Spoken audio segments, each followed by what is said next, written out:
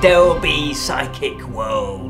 Oh yes, hello and welcome to the Friday. No, it's not that. Oh, uh, The Sunday, Friday, The Monday Friday- show, what the show is The this? Bottle Imp Show. the Bottled Imp Show. Yay, Yay! catchy. Hey, my name is Ken Boyter, and this lovely man who likes to wear shirts is Julian.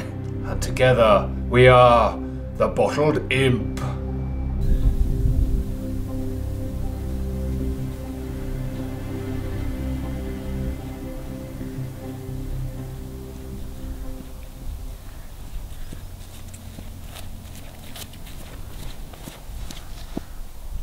Yes, enough as Lauren your old skit. Oh, that was hilarious. I know. That I was know. hilarious. We are very, very funny We're, people. we're, the, we're, the stuff we produce I is know. hilarious. Funny looking. Hilarious. It may Yeah. not seem it to you. But you know what? We don't mind if only three people see it. No, we do it for you. For the love. when But- talking to the viewer, we're Yeah. talking just to one person. and Exactly. That's you. Who's that? That's you. Your mate Steve. That's you. Oh, me. Um, but if you do happen to know people that would like this show, share it because it is nice for us Why to not? have viewing figures. Yeah. yeah. Am I sounding desperate? No, but I think No? desperate times call for desperate measures. yeah. I'm not stripping. And, uh, you know, Sh- Maybe we could do that. Maybe that's what we need to do. We need What's- to just do stripping. That, that's your pen, Julian. Thank you. Yeah. That's little arrow. Not that we really use so- them. no, it's I'm just going to use prop. it now. It's, um, yeah, it's all right. Yeah. It's all right. It's all right. Anyway, let's crack on because um, time's moving. Yes, it we are doing a whole show today about the psychic world. there be whatever you said at the beginning. Yeah. What's I that? predict that there's either been an accident It's or someone's on the run. highly expensive soundproof studio. Yeah. It's working a It's treat. good, today. isn't it? Yeah, you need to get your money back. yeah. But uh, yeah, so the psychic world. Yeah, what is the psychic, psychic world? What, what world. do you what do you think the psychic world is then? and do you believe it? The psychic world. Yeah. Well, dro- see. I actually didn't know the theme of the show Mm. until just now. No. Like with you, Yeah. viewers. Yeah, it's all, I'm it's all fresh to experiencing it. The psychic world. Well, Yeah. is it fantasy? Would people take offence by you Well, I'm not- claiming now that it's fantasy? Because I'm- people take this very seriously, yeah, don't they? yeah. Much like What I'm I'm putting out there is that that people that take offence, you know, have to really look at that because it's all it's everything's subjective, and it, for me, it also borders into to religion as well. Now, yeah. okay, so I believe in the psychic world. Okay, I do mediumship. You know, I, I talk to people that crossed over. Okay, and I know that you don't really believe in that, but I'm not going to get offended if someone goes, "I don't believe it. It's rubbish," because well, that's your opinion. But by Do you see what I but mean? by calling and it also- fantasy, Yeah. are we calling it? Which is interesting because you say you believe it, yet we're now saying Well, we're, I'm open now calling debate. it fantasy. Is it fantasy? Because is fantasy real? Well, that's it. Is yeah, exactly. But that's what I'm saying. To some people, this will be fantasy, and that's why I want to open up the debate. Okay, right. Wh- You know, uh, some religions. If you go, yeah, right. So there's a guy that. Um, you know, he, he, he could perform miracles and he could walk on water. He could, you know, all of the things that Jesus did. Some people are going to go, what? Really? That they actually Hmm. did that? That's fantasy. That's imagination. That's you know, and, and so you think, well, what is fantasy? Fantasy is something that's out of the unusual, isn't it, or, or out of the normal? I, I would say on a, on a really Yeah. broad sort of, Yeah. without having time to go into fantasy. But do you see what I mean? So I'm sort of saying, you know, because if you don't believe in the Bible or any other religious book or anything like that, you don't believe in that or God. If you don't believe in a God or a God or the God, then people that do, you'd go, well, surely that's fantasy. And it's the same with this. If you say, well, look, you can speak to spirits, surely that's fantasy. Do you see what I mean? Yeah. So I'm putting it out there. Yeah, yeah. I think a lot of people would What- say it's what- fantasy, and yeah. a lot of people say religion is fantasy. But there's also a lot of pe- people that would say religion isn't fantasy. Yeah. It's what Yeah. they believe, and they believe it to be true. And there are people who, you know, like psychics and people who, who, who Mm. believe they're talking to the dead, who say that isn't Yeah. fantasy. I do this, I make a living out of it. It's not just me conning you. Yeah, exactly. Yeah, or being de- or being So I- deluded, yeah. or being deluded because. But but as Yeah. as as this show is all about fantasy, by Mm. talking about this as a theme of it, it's suggesting that we are saying Well, it's fantasy, the it's reason not why real. Yeah, but a, the psychic ability and talking to spirits is used as a common theme in fantasy novels. Right. so yeah. fantasy authors have gone, oh, I like that. Kind of whether or not it's real is kind of irrelevant to a fantasy author, isn't it? Because it's like that's a cool thing to Yeah, have yeah. in your book because it, and you it lends itself so to beautifully and- to yeah. to the, the, the imagination, the made up magical yeah, fantasy yeah, exactly. stuff. Yeah, So yeah, like, yeah, yeah. That's what I'm saying. So, so there's two layers to it, isn't there? Whether it actually exists or not is kind of irrelevant when you're talking about fiction. So we're talking about we're talking about Well, I'm talking about everything. Yeah. things within the realm of fantasy, Well, and as just- opposed to necessarily those people. Well, do you know what? When we get onto real, the facts, like we'll find out. Okay, right then. Yeah. And maybe we should. So there you go. But before we go any further, happy Imp Day. Not to you, 'cause it's Happy not your Imp Day Imp to Day. who? To my dad. Your dad. Yeah. It's his Imp Day today. Yeah, Happy not- Inter Imp Day, Mm. Mr. Kraboiter. It was actually yesterday. Was it? Yeah. But, you know, it's close enough. Is that now? I'm confused. Is that yesterday from when this show goes out, or was it yesterday no, from I'm today? pretending that it's oh Monday. right. Okay. Honestly, it always breaks the fourth wall, doesn't it? Yeah. So Happy um, birthday to you for yesterday, Mr. Kraboiter. Yeah, exactly. And uh, yeah, so happy birthday. Um, we had a great time when I went to visit him. No, I didn't go. Um, anyway, but also Derek Jacobi, also known as We just moved on from Yeah, your dad. Okay. yeah. Not really a fancy, right? Okay. Derek Jacobi, also known Yeah. as Derek Jacobi. exactly. Yes, he was born on the twenty second of October, nineteen thirty eight. Wow. Thirty eight. 38. How old does that make him? That's That quite easy to work him out, isn't it? 30, 40, 50, 60, 70, 80, 90, 2008. There's 70. 70. No, what's that? 80. You do maths good. it's too early in the morning. Yes, I normally write down exactly how it's because then I don't have to do Yeah, you maths. but should have put it down in should have done that. Should have done that. So he's an English actor and stage director as well. He's had an illustrious career. hasn't he? Yes. He's been in absolutely everything, and I really like him as an actor. Where there's a bit of fancy connection is he was in, he he was Cadfael. The uh, not that that's strictly fancy, but it's murder mystery, Right. medieval setting, Yeah. that sort of world. But he was a he was an herbalist. He was a healer. So I quite like that, and again, that's a theme within fantasy, isn't it? Um, so no, based on the Cadfael Chron- Chronicles by Ellis Peter, and they sold millions. They were huge. Right. Did, you, did, you, did you read any? Didn't read them, didn't watch the TV thing. Okay. but also, he was in Doctor Who.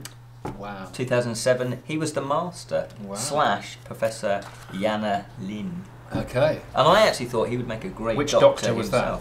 He wasn't a witch doctor. No, witch doctor was that? I tried to move on, folks.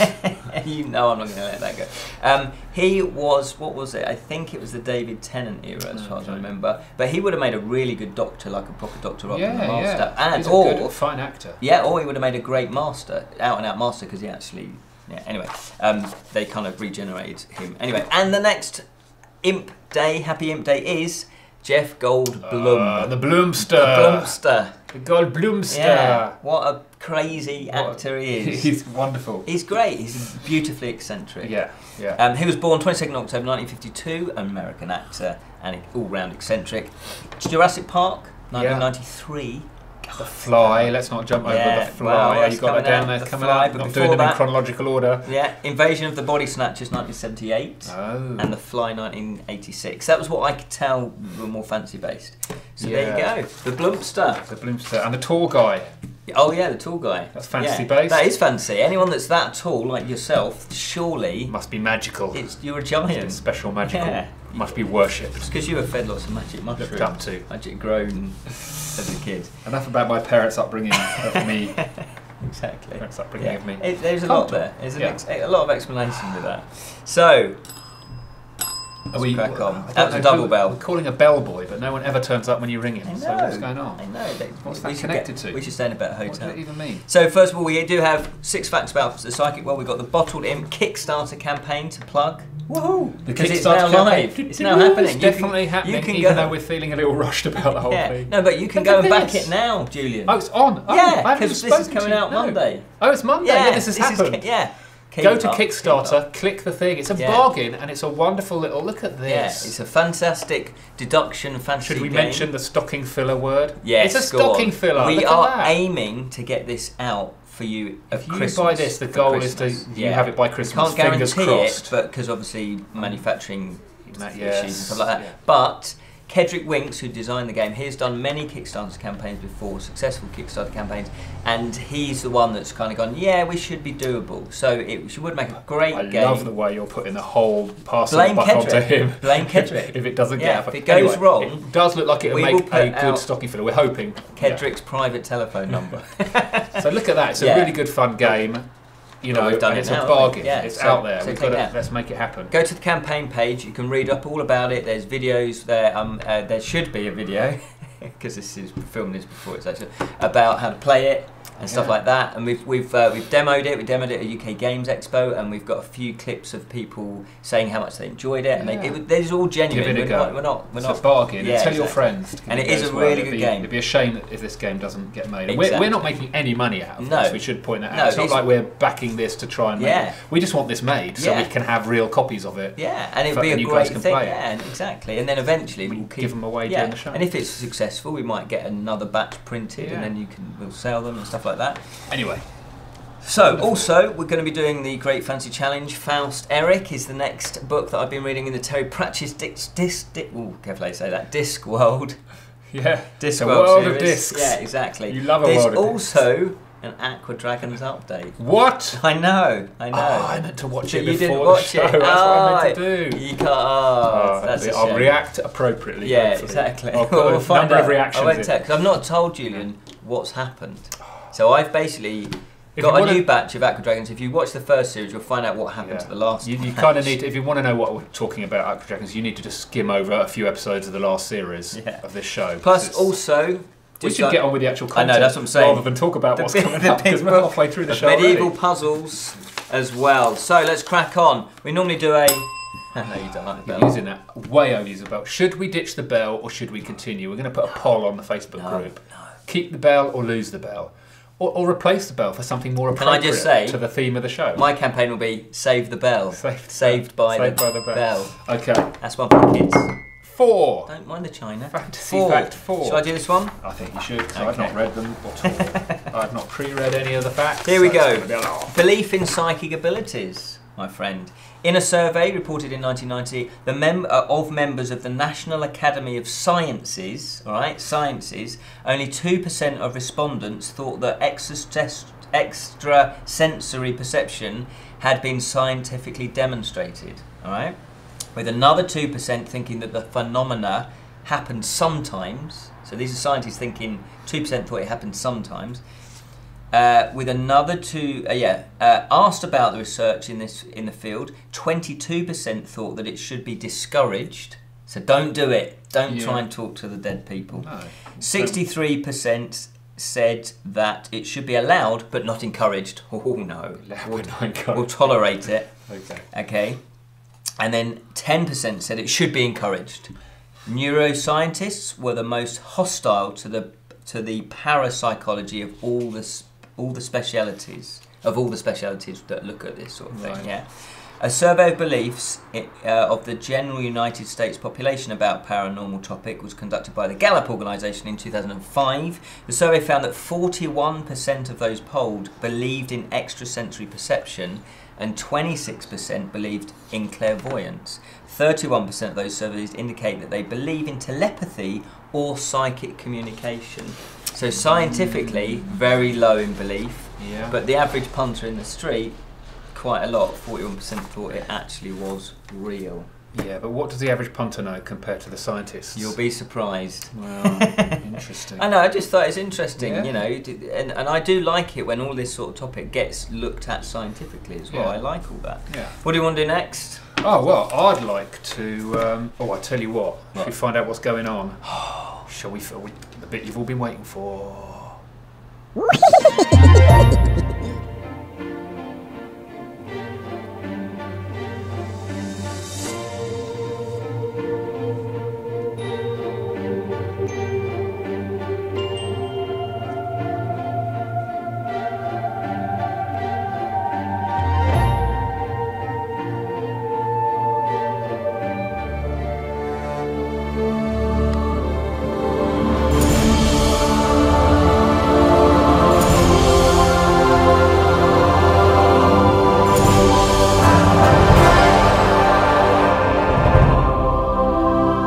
lies before you is the Key of Etroth and the beginning of great adventures. But first you must join us in a meeting of Sacred Magical Society members. The key will only work once you have uttered the sacred phrase. It's a kind of security feature, you know. Anyway, the phrase is Exploring the realms of fantasy. Waste no time, but go carefully, as there are those who wish to stop you.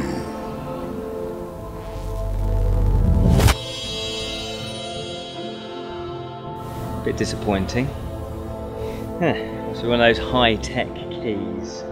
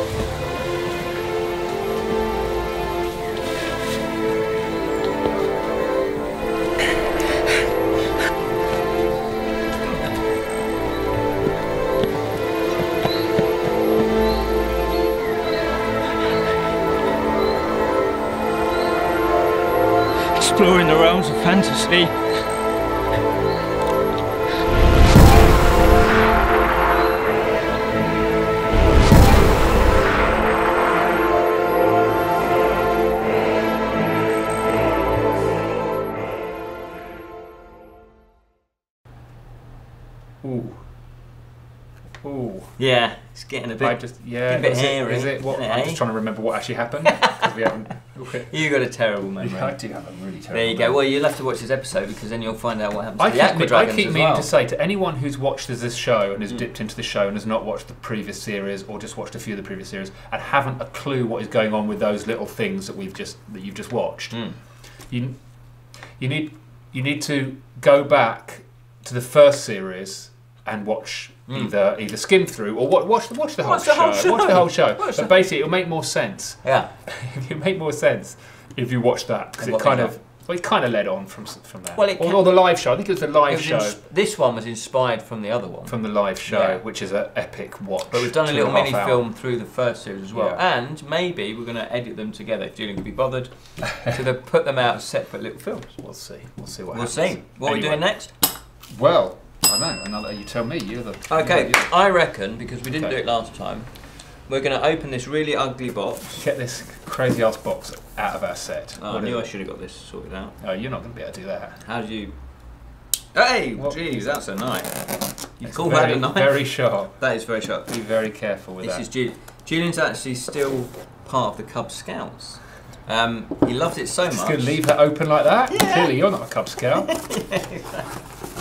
Why do they give kids knives? Now this is a, an unboxing. Yeah. This was sent to us Wow. by Bottled Imp viewer and fan and friend of the show, friend of us, Sam. Right. Yeah, Sam. Sam Fords, I think that's how you pronounce her name. I know what she did. Girl Sam, not boy Sam. Girl Sam, yeah, ah. Girl Sam, and she regularly watches the the uh, She sent us a present. yeah the film. Wow. Woo! I didn't know they were going to be like this. Oh my Look god. at these. What the? It's one for you. I don't know what, colour you want. That's freaked me out. I, I didn't know they were going to be like plasticky. They're What? amazing. They're little imps. They're little They're little imps. grottle. Yeah. But they're like, what is That the is- material? It's plastic. How? Thanks, How do you Sam. do You have this? sent us the weirdest thing I've ever I seen love in my it. life. I know. But look at them. They're Oh, great. Gosh. They look are little- rather cool. They are amazing. I didn't know they were going to be out of plastic. I thought they were crochet because Sam did say she was going to send us a present, a Crocheted out of some But I bizarre know. rubber. I love it. I love that. Look at that. Imagine that little imp on your shoulder going, going, do it, do it, do it. And then you got another one going, don't do it.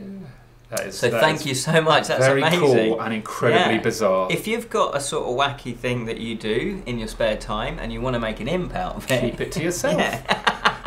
That's cruel. We don't have the. That no wonder there's an, like, remember I've got a knife. Yeah. I, I will don't. defend our viewers. The worrying thing is you've made them waterproof, which means Ken, unfortunately, is going to play with them in the bath. Nothing wrong with that, Julian. Have you all got a picture now? got a picture? I can put a picture up on Facebook if you Okay. Okay, Thank you, Sam. Yeah. We like receiving presents. we do. We do. Ah. oh, cheeky. Right, I reckon we should do. Um, what's it? Is it I'm not going to stop until this happens. Fancy uh, charity, Charity chop, shop find. find. Fancy Okay. charity chop find. Chop, chop, chop find. Right, let's do it again. Do you want to hold it and I reveal, or do you want to? Oh. I hold it and you reveal. you hold it, I'll reveal. Mm. Oh, God. The time just flies past. I don't feel we've done anything yet. We've done nothing. But we could stop on this and it'd just be the perfect show. That'd be the perfect show, wouldn't it? Right, here we go. You ready? Okay. Ding. Oh, I love those things. I love It's a ruined It's castle. a dust catcher. Brilliant. You've got a lot of dust to catch. Yeah, because it's this on the ruined. That adds to the atmosphere. Okay, so what do we got Yeah, you here? don't want a perfectly clean castle. We've got a not at all tacky little model or It's something. not tacky. This is well done. This is good. I think this it's a Cornish tin mine. Okay, ha- have a guess You how saw- much then? How Okay, much yeah, would you pay for that in a charity I shop? would Charity shop, pay probably an unknown amount of money for someone to take that away from me. um, you probably paid. I hope you didn't pay more than fifty p for it. Is that, that your final answer? Do you want to phone a friend? Do No, I you want to don't. phone the charity shop manager? Yeah. One pound fifty. Ooh. One pound fifty Did he overspend or did he get a bargain? You know what to do. Comment below. Yeah. And this Can I was from the charity shop Mind, all about mind, Yes. you know, uh, mental health. So I'm putting my glasses on for Ah. this. there you go. I love those sorts of things. They're great. Look at the detail on it, Julian. Look Well, at I the think detail. if you've got a model railway, then and you build a sort of fantasy model railway mm. thing, then. Yeah. then that might be good in the distance because obviously you know if the train went past it, you'd go, oh, it's quite tiny.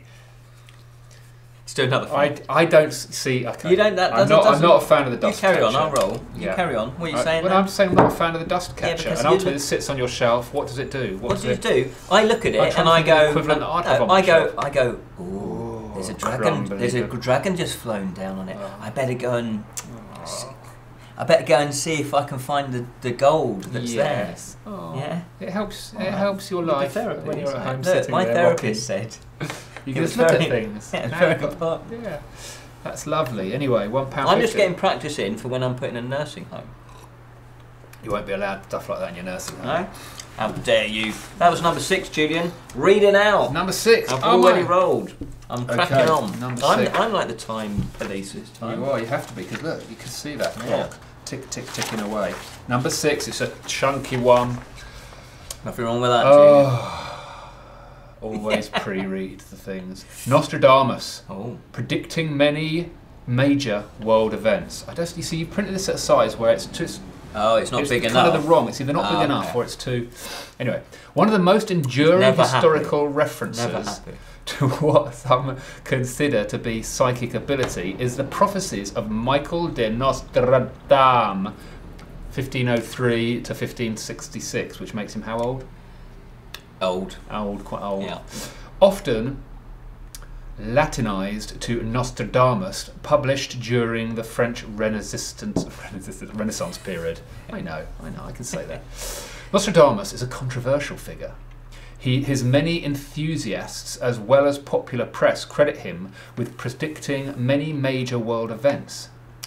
Interest in his work is still considerable, especially in the media and popular culture. Yes. Mm. By contrast, most academic scholars maintain that the associations made between world events and Nostradamus um, are largely the result of misinterpretations or mistranslations, Mm. some deliberate, Ooh. or else are so tenuous as to render them useless as evidence of any genuine predictive power. Yeah. It goes on. In addition to belief, in addition to belief that some historical figures were endowed with a, uh predisposition to psychic experiences, some psychic abilities were thought to be available to everyone on occasion. For example, the belief that prophetic dreams Mm. are common and persistent in many ancient cultures. And again, It's a lot of information to sort of digest and Yeah. think about that we don't have time to I do, I, know. feel, with these facts. I know. Well, we can always maybe revisit these, can't Yeah. we? Do a chat. And, yeah, yeah. Think Where we just one needs to think about it. about it and we just of, have one theme that we or just we should about. pre-discuss and think about it, come up thing. Or we That need might facts that are short and snappy, When like do we have time? did you know that Yeah, the yeah. world is No, I, round? did, I didn't You edit. know? is it? yeah, You apparently sure? so. Not, not according to my mates, the Flatlanders. Oh, right, okay.